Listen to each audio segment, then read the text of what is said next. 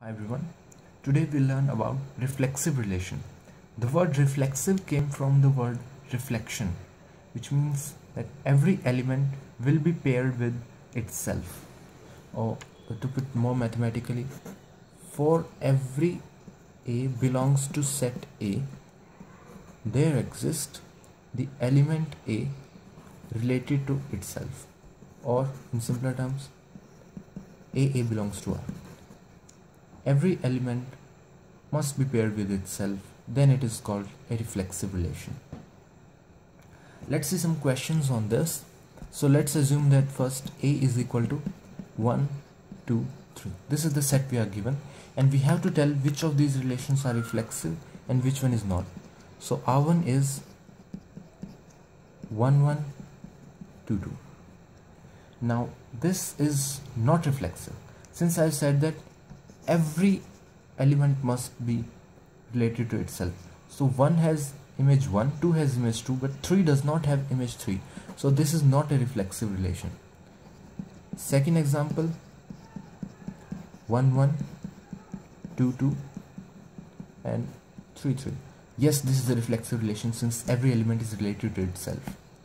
Another example r3 is 1 1 2 2 3 3 and 1 2 now our definition states that every element must be related to itself but does not prevents us to have other ordered pair.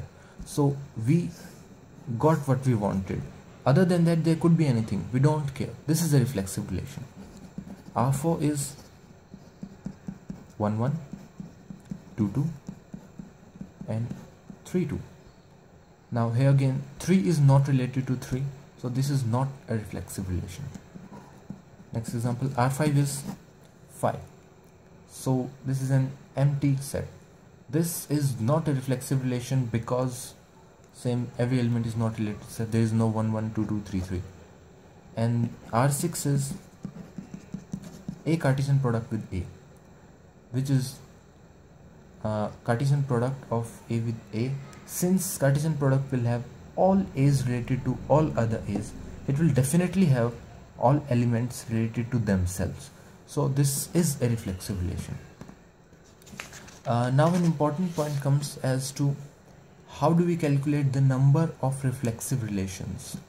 So if there were n elements in a set and we were to uh, calculate how many reflexive relations are there how do we calculate that?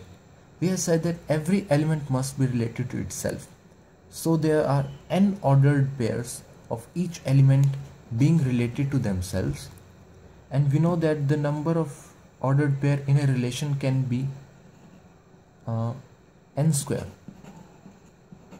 So the left ones would be n square minus n. So these are the ordered pair where each one is related to itself and these are all the left ordered pair n square minus these n. Now from all these uh, these must be present. Then only it is a reflexive relation. So this is just one because they, this is sure event. They must be present. And the n square minus n uh, how many uh, ways these can be present? So since each can be either present or non-present we'll simply say 2 to the power n square minus n because for everyone there is choice. It is present or not present this can be written as 2 to the power n minus n into n minus 1 this is the number of reflexive relation so if we were to say a is 1 2 3 the number of reflexive relation is 2 to the power 3 into 2 or 64 reflexive relation on set of three elements. Thank you